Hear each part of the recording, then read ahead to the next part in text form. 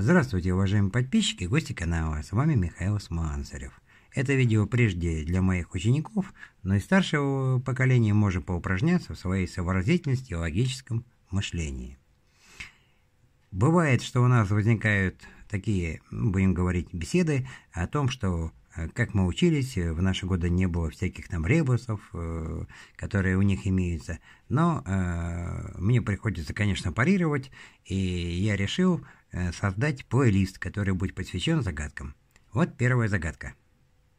Как из 10 спичек, ходя через две спички, вот, например, одна, две, построить 5 крестов.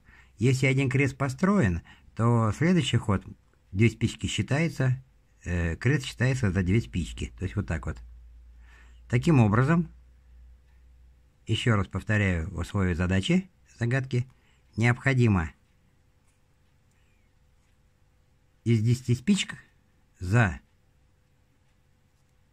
5 ходов, ходя через 2 спички, э, построить 5 крестов. Можно написать э, в комментариях просто, что решил, не решил. Э, ну, только честно, конечно. Вот, но это в интересах каждого проверить себя. Можно вообще написать, например, пятую кладу там на э, скажем, вторую или пятую кладу там на э, восьмую, по, после этого седьмую кладу э, через двойную, так как здесь две лежит, на девятую и так далее и тому подобное. Сейчас можно остановить на паузу и по пробовать решить задачу.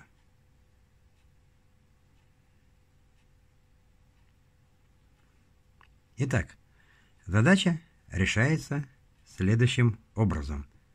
Берем пятую спичку. Строим крестик на второй. Мы проходим через третью и четвертую спичку, через две. Теперь берем седьмую спичку и кладем ее на десятую. Вот у нас еще один крестик. Теперь берем третью спичку, ходим через две, через четвертую и шестую, кладем ее на восьмую еще один крестик.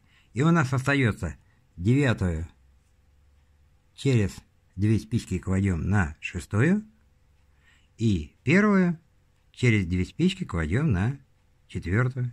Таким образом, наш ребус или загадка решена или решен.